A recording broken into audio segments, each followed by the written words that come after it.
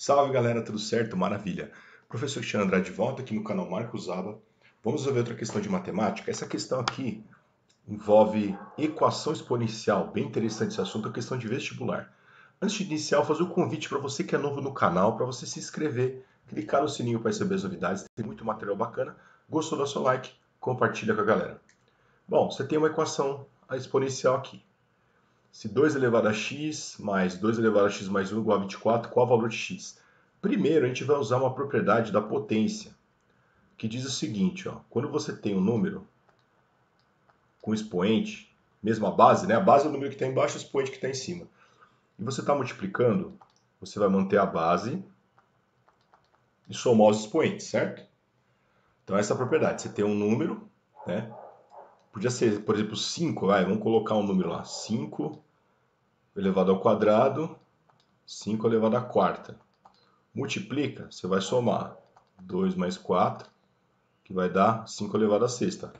Mas o que, que eu vou fazer? Eu vou puxar para resolver isso aqui ao contrário, tá? Vou aplicar um caminho contrário aqui, ó. Caminho inverso.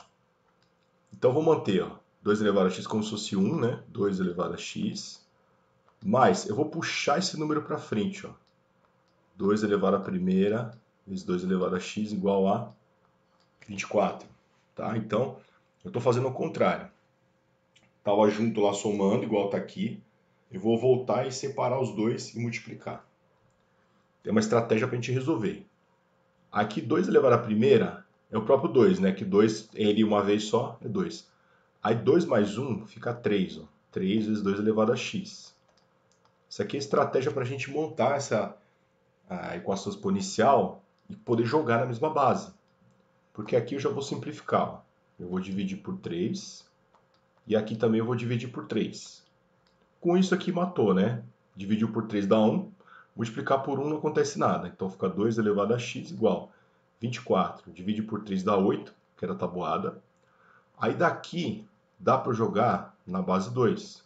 Eu vou decompor esse 8 aí.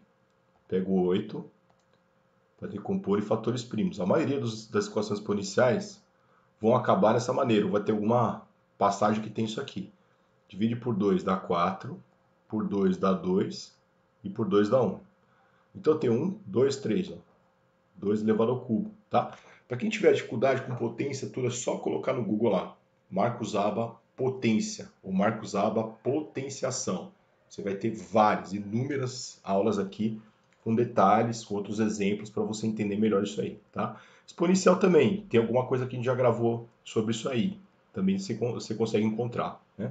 Só digitar no Google com Marcos Abel, o nome do, do assunto, você encontra facilmente. Então, 2 ao cubo, ó, tá? Eu vou derrubar, já era, ó, x igual a 3, matou, entendeu? Se eu quiser fazer a prova real, eu jogo lá e vou checar, eu vou ver que dá, entendeu?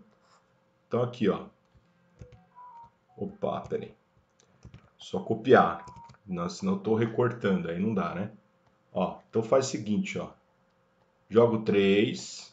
Ó, 3 mais 1. Vamos ver se dá 24. Ó, 2 ao cubo é 8. Esse aqui vai dar 2 à quarta. 2 à quarta é 16. Se você multiplicar mais uma vez, vai dar 16. Então, 8 mais 16 vai dar 24. Certo? Beleza? Então é isso aí, mais uma questão. Espero ter sido útil para você. Gostou, dá um like, compartilha com os amigos. Se for novo no canal, inscreva-se, clique no sininho para receber as novidades. Te aguardo no próximo vídeo. Até lá!